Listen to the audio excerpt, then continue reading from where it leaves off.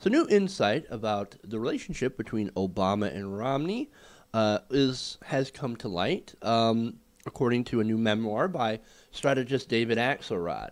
He was uh, basically recounting the night that Romney called Obama to congratulate him on winning his uh, election in 2012, winning the presidency. Okay, so David Axelrod basically wrote in his memoir the president during the call was unsmiling and slightly irritated when it was over. You did a re- uh, and why? well, because Romney really believed that he was going to win. Romney believed that he, this was in the bag. And so did a lot of Fox News, like Karl Rove, like oh, Romney by a landslide. And so it was a huge, huge surprise to Mitt Romney that he completely lost. His campaign fell off the rails ever since the 47% con- comment, and yet he thought, I got this. This is in the bag. Like, I'm supposed to win. Like, how did this guy win? And so during this call, Romney said this You really did a great job of getting out the vote in places like Cleveland and Milwaukee. Now, Obama said, in response to this, in other words, black people. That's what he thinks this is all about. Pretty much. Um, I mean, pretty much what Romney thought. He, he, if you can remember, Romney called was talking to a bunch of fundraisers about how Obama was giving gifts to targeted groups such as uh, African Americans, Latinos, and millennial voters. Oh, you're just giving all this free shit out, and that's why you won. Nobody actually wants to, you know, elect somebody who's going to make the hard choices. You know, the hard choice of taking money from poor people and giving it to rich people. Now, that's a hard choice for you, but that's not a hard choice for me. I, I, I'm willing to make that. I'm willing to make that call.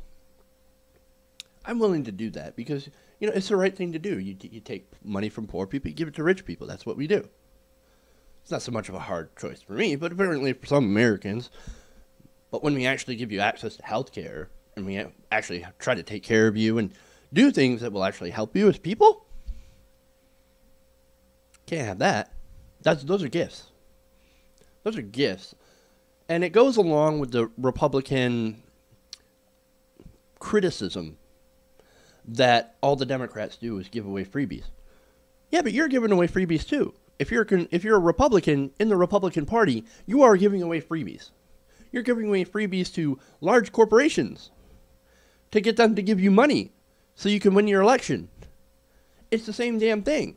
Except Democrats are giving more a little bit more freebies to regular people while they also give more freebies to the rich. Because both of them are giving out massive breaks to corporations. We know this.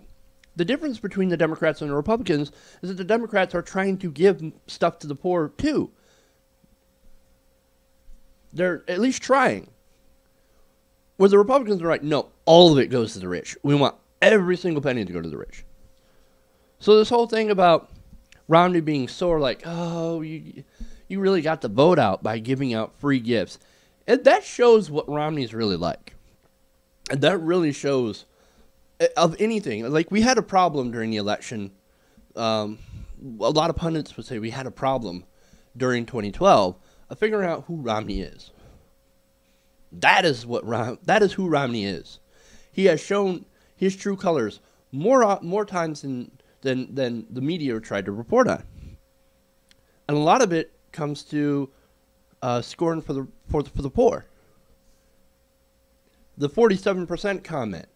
These comments about, oh, you're just giving gifts and everything, and you're targeting uh, places like Cleveland and Milwaukee, and you're trying to appeal to poor people. We don't like that. That's who the real Mitt Romney is a guy who hates the poor and thinks that he was entitled to the presidency and was really pissy when he didn't get it. That's the true Mitt Romney.